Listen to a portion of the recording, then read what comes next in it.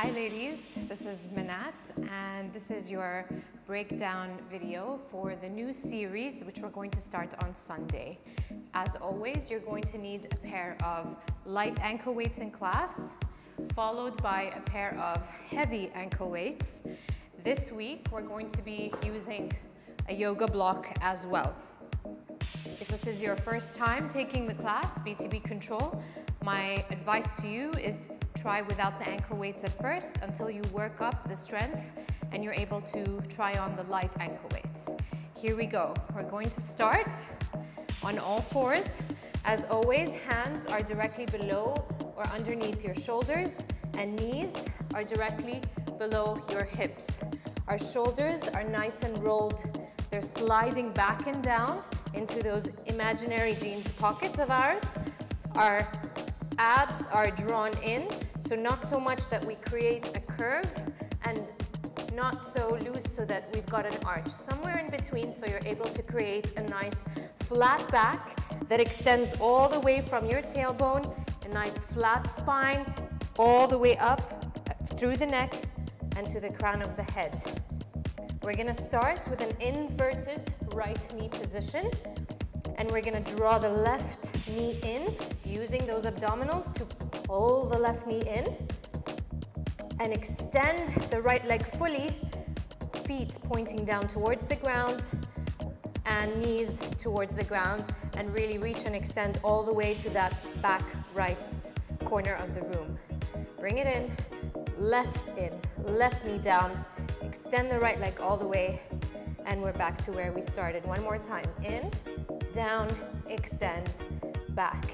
Same position, we go here into a nice extension. Our toes are on the ground. We're gonna lift up into plank and raise the right knee off of the mat, probably by just this much. So you're gonna hover and raise it up, lower it down with control, lift the right heel up, that leg is in extension, it's not turned out, it's down here, and return. So up, up, up. Abs are drawn in the whole time. Use the abdominals, engage them to lift that left knee off of the mat. Remember, you're pushing with your hands against the mat. So we're not here, we're here. We're nice and strong. Great. We're gonna bring that right leg forward, left leg forward, squat down, left knee down, right knee lifts up, imagining that string that we talked about in class, lifting your knee. As you extend all the way back, bring it back down, and we're back to where we started. So squat, lower the left knee, reach with the right leg, pull it back in, squat. Let's do two more of these. Down, down. Your hands are on the mat the entire time. From here, we extend the right leg in a turned out or half turned out position. So open up that hip. So we're not here, we're here. Remember, draw everything in, zip up from the lower abdominals. In extension, we bring that right leg as far forward as we can without sinking too much. So if you're sinking here, remind yourself to bring and bring yourself back on top of that left knee. Bend the right leg to a 90 degree angle. Extend and bring it back. Bend, extend, side, bend, reach. Side, bend, reach, side bend, reach. Very nice. All right, we're extending the right leg across now. We're sitting back, so I want you to bring that leg as far back as you can. Your hands are in front of you on the mat. Sit back. So your, your left hip is not going to touch the mat, it's just gonna hover above. As we sit back, bring that right knee towards your right elbow. So here, Lift, lift, lift. Land on the back and across and across. So you should be feeling this in your left obliques and then your right waist as well as you bring the knee towards the right elbow. Very nice. From here, we balance off, we balance here on the left arm.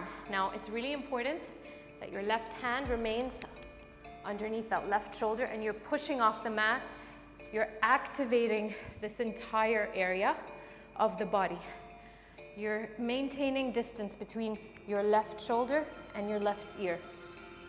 Now, from here, this on its own is quite challenging. I want you to keep that, keep that 90 degree angle in your knee and your leg, your right leg is parallel to the ground. And from here, we're just gonna swing and swing it back.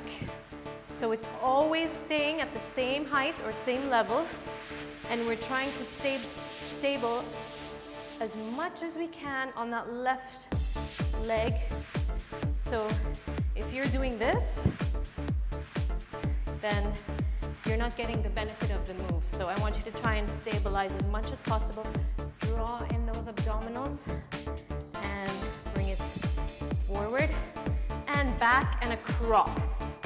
So your toe is facing the left back corner of the room.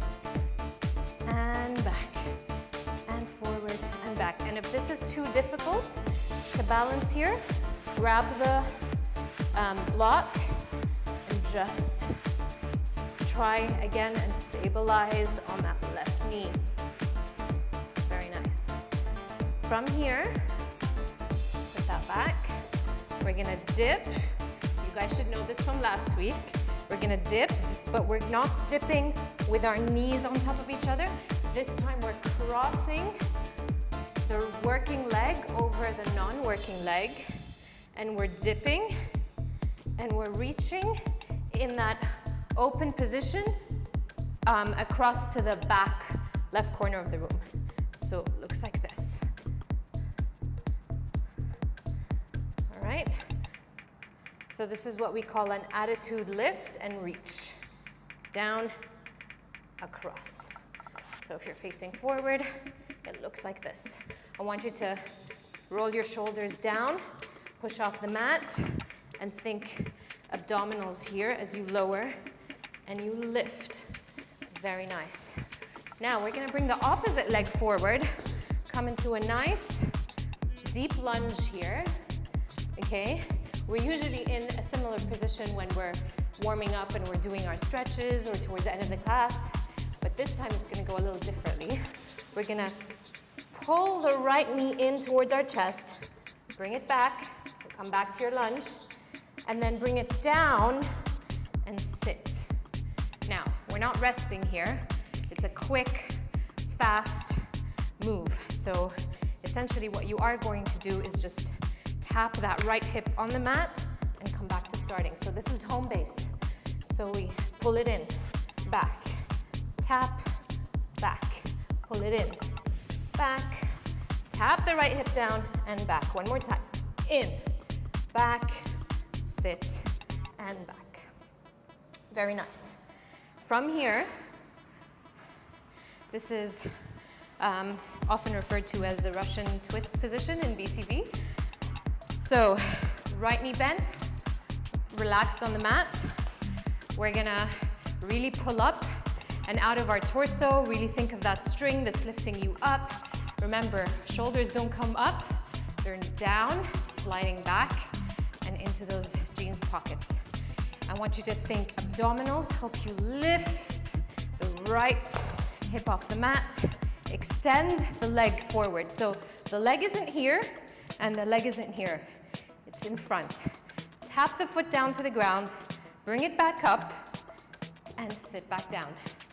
So it's, a, it's very easy in this move to get into your traps and your shoulders and kind of get really sore and tense here.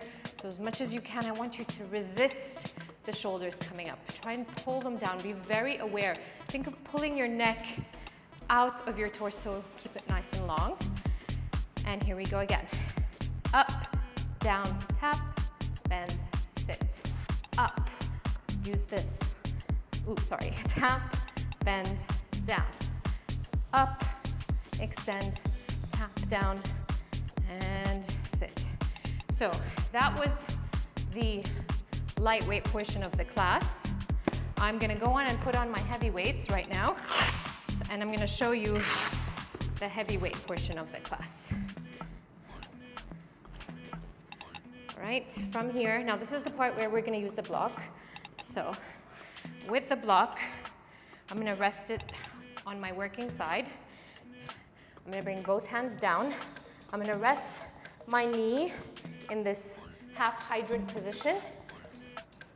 And I'm gonna lift it up, reach back, bring it back, and I'm gonna rest it on the block for just a second. And I'm back to my reach and rest.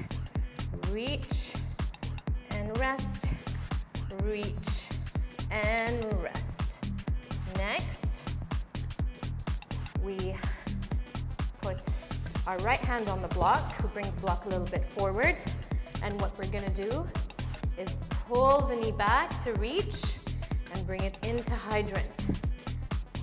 Reach, hydrant, reach, hydrant, reach. From here, we're gonna cross it over and bring it in towards that right elbow. So it's very similar to what we did in our right, uh, in our lightweight portion. Across, reach, careful not to sink. Here, abdominals are in. And then from here, we just have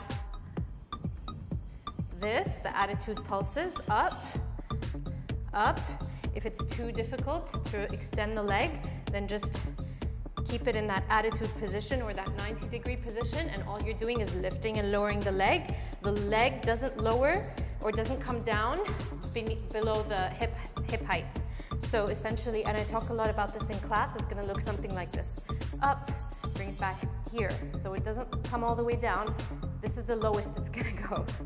Up, up, up. Allow some flexibility in your spine, but not so much that you're, you're dipping, all right? Because then you can hurt your lower back. And the final move, we're gonna place the block on the side, is we're gonna come back to our pretzel or mermaid sit. And this is where it gets a little bit tricky. We practiced a little bit of this last week, so I hope you're ready. We come down, okay, without lifting any um, hips or butts off the mat. We're gonna reach up and extend that leg, reach it down. So it's a reach back, lower it down, turn around, and reach with that right leg towards the back wall or towards the back of the room in a turned out position. So my leg is turned out. And I want you to feel, I want you to feel a nice pull in that inner thigh. So really reach your leg. So there's a difference between just hanging out here and really reaching forward. I want you to feel that nice pull in the inner thigh. So I'm gonna do this sideways so you guys can see. Again, I'm lifted, shoulders are down, up, turn. And if you can do this with just the right hand on the mat, go ahead. If not, then use both hands and reach twist, up and reach, twist again, and reach. Very nice.